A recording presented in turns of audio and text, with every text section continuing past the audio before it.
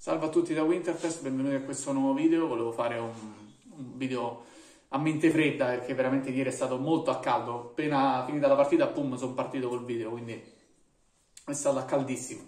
E mi scuso se la voce o, o, gli occhi lucidi o il naso rosso, ma soffro di allergia al polline, quindi durante la giornata mi stendo.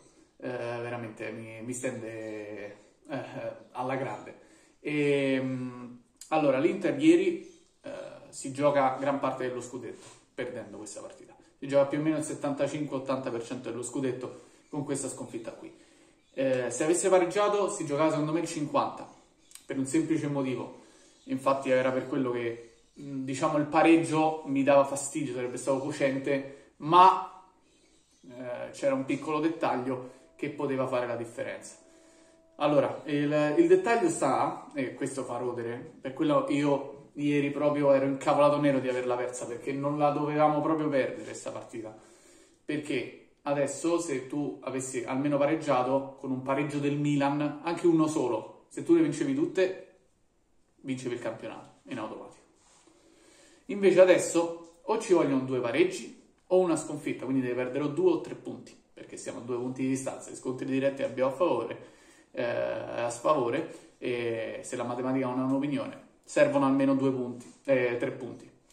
E, ehm, e quindi eh, o una sconfitta, che cosa che dubito accadrà, sono sincero, perché il Milan è una squadra che non è facile da battere, o la sdereni subito, tipo l'Inter al derby che gli ha fatto tre gol e stava 3-0, e, oppure eh, è una squadra che lotta fino alla fine, quindi se il risultato magari è sull'1-0, può essere che a 5 minuti alla fine fa l'1-1 e quindi la, la partita la pareggia magari non te la va a vincere se sta sotto in quella situazione, però a pareggiarla la pareggia. E, ehm, quindi non credo che perderà. E, e quindi sta, sta, di fatto che servono almeno due pareggi, almeno secondo me. Poi, secondo punto che ho già detto ieri, mi pare, è che secondo me eh, il Milan le prossime due le vincerà con Fiorentina e Verona.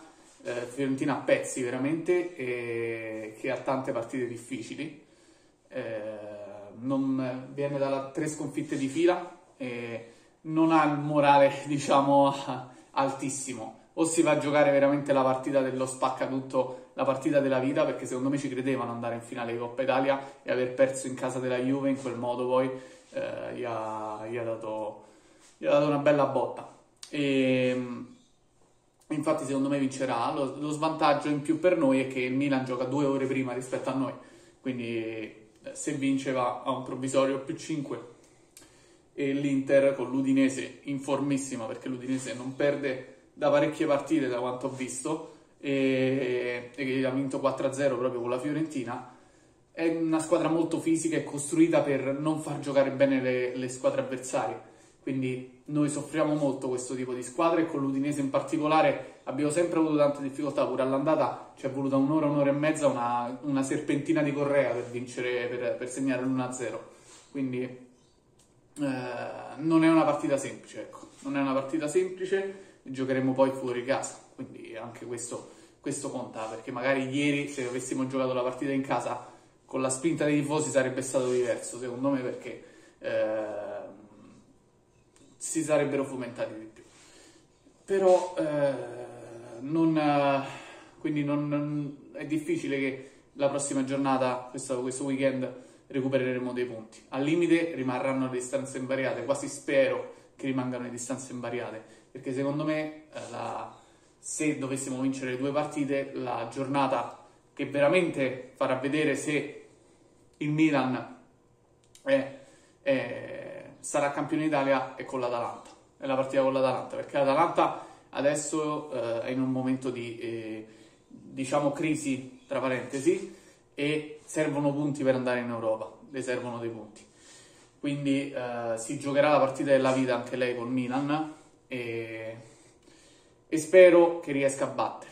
Ho questa, questa sensazione, come avevo la sensazione che l'Inter almeno una partita la sbagliasse, e, um, ho la sensazione che l'Atalanta possa battere il Milan, non so perché ho questa sensazione. E, um, e quindi devo sperare in quella partita, almeno per me, perché secondo me Fiorentina e Verona il Milan vince. ovviamente eh, pensiamo partita dopo partita ormai, pensiamo giornata dopo giornata perché il destino non è più nelle nostre mani e dobbiamo, e dobbiamo vedere quello che fanno gli altri. La prossima, ad esempio, giocano prima loro, la settimana dopo giochiamo prima noi. La 37esima invece mi pare giocano prima loro? Sì, credo di sì perché noi giochiamo la finale di Coppa Italia, quindi credo che giochino prima loro. E, e quindi è una, una e una, una e una, una e una e non si gioca mai in contemporanea, però non fa niente. Le ultime giornate abbiamo giocato prima noi e abbiamo messo un sacco di pressione al Milan, eh, è giusto anche che ci sia la cosa dalla parte opposta, ovviamente. E, e niente, quindi pensiamo alla giornata ormai, viviamo alla giornata e spero, spero che le distanze rimangano invariate per questa giornata perché la vedo molto molto difficile. La vedo difficile per l'Inter che dovrà dare una reazione da grande squadra e, e, dovrà sperare in un passo pazzo del Milan che almeno secondo me in questa giornata non, non avverrà. Come ho detto la speranza dell'Inter di vincere lo scudetto ormai è al 10-15% perché eh, non è detto che il Milan le vince tutte ma non è detto nemmeno che l'Inter le vince tutte, perché le ultime tre sono quelle più abbordabili. Erano Udinese e Bologna che erano un po' toste.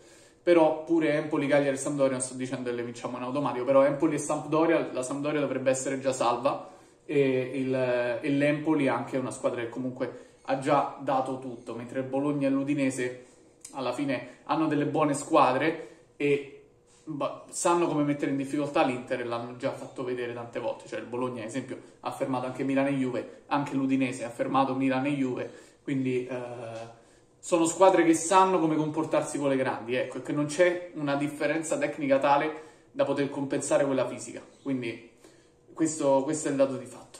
Niente, quindi ormai si pensa alla giornata, volevo solamente fare un po' di calcoli che questa notte ovviamente sono venuti a me e credo a tanti interisti, però il fatto è che non dipende più da noi, dobbiamo solo sperare di vincerle tutte e che loro sbagliano.